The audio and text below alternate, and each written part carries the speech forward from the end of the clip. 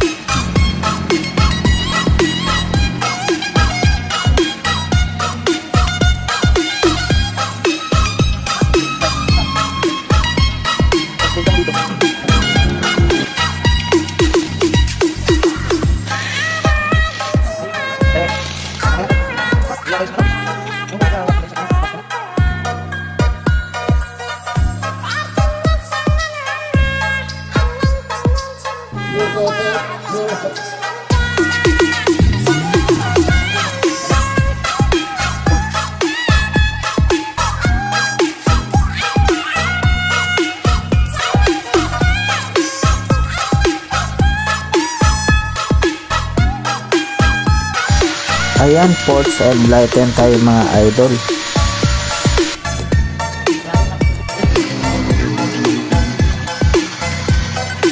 And kabit natin board. And after kabit ng board mga loads, kumuha tayo ng compression ratio. So, nilagyan na natin ito ng pang-touring na compression ratio mga loads. Okay, nakuha na natin yung saktong compression. Then, next natin, buuin na natin yung ulo mga loads. Kabit na natin.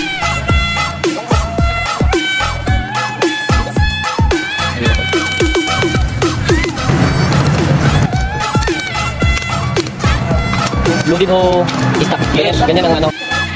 Yan, lagyan natin ang cams. At the same time, magka-cam degree na tayo mga idol after.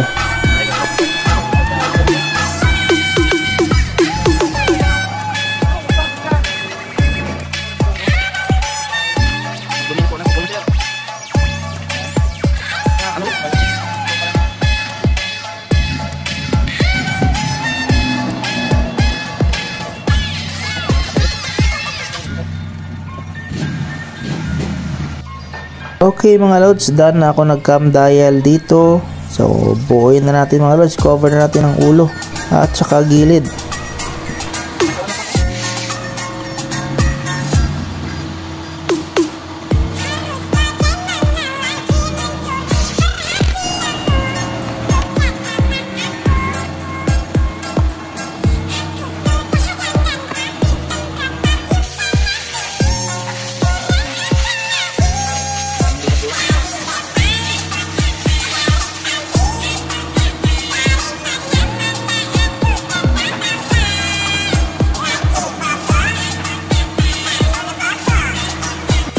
Ayan, last part mga lods, cover na natin ang head at the same time. After nito, ikakabit na natin sa makina yung engine. So ayan mga lods, buo na yung ating makina. So preparing na tayo para ikabit yung ating engine. Let's go!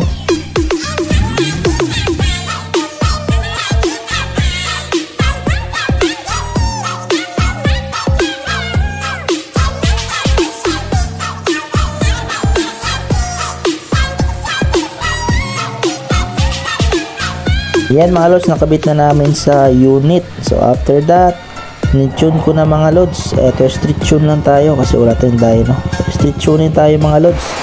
Uh, yan, inambutan tayo ng malakas na ulan. Sakto lang na natapos ko ang tuning. So, powered by Pixbike ECU ito mga idol. Fresh build 177cc Pitch Bike ECU. So, eto na yung finished product natin. So, ayan na rin yung feedback ni Bossing. So, Raider FI. Bagong build natin mga lods dito sa FI Tech North Cotabato.